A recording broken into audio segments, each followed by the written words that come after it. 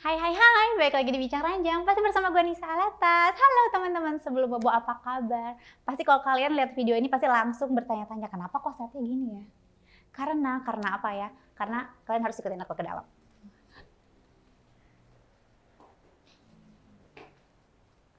Oke teman-teman, uh, sebelum bobo jadi, uh, kayaknya hampir sebulan kemarin bincang ranjang nggak posting atau nggak rilis video baru karena uh, sekarang sesuatu dan lain hal dan ditambah lagi kemarin aku sempat drop, aku sempat sakit dan ditambah lagi sekarang uh, studionya Bincang Ranjang lagi full renov. Jadi di lantai 3 dan di lantai 2 tuh semuanya studionya lagi direnov. Jadi untuk saat ini kita belum bisa syuting kemungkinan insya Allah minggu minggu besok udah boleh nggak?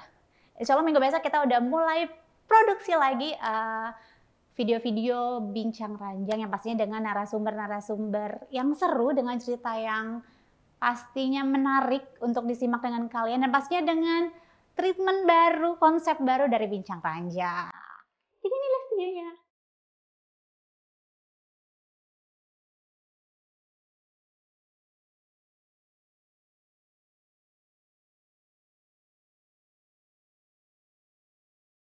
Oke teman-teman sebelum bobo ini uh, sekarang kalau tadi kita di lantai 3 sekarang ini aku di lantai 2 studio 2 inilah kondisi studionya jadi sedikit uh, nostalgia aku di sini setelah satu bulan. Hampir satu bulan aku nggak nggak nggak masuk ke dalam studio ini.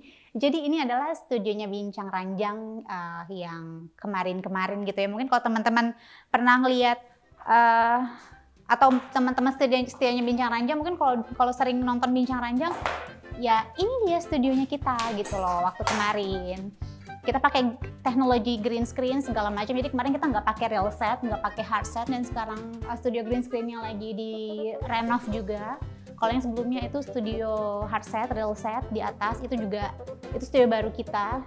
Yang pastinya nanti bincang yang akan memberikan uh, keseruan-keseruan konsep terbaru untuk teman-teman sebelum bobo. Jadi buat teman-teman yang nonton video ini uh, jangan lupa tungguin video-video selanjutnya Bincang Ranjang. Dan pastinya um, ini secepatnya harus diselesaikan. Halo. Secepatnya uh, kita, aku sama tim akan menyelesaikan menyelesaikan ini halo dan dan uh, kita bisa untuk uh, produksi lagi konten-konten serunya bincang ranjang gitu yang pastinya dengan aduh aku nggak sabar dengan konten-konten uh, terbarunya dengan konsep barunya bincang ranjang dan aku harap uh, semoga video ini uh, bisa mengobati uh, rasa rindu kalian uh, dan rasa apa ya rasa penasaran. Ini menjawab ya karena banyak sekali komentar-komentar yang aku lihat.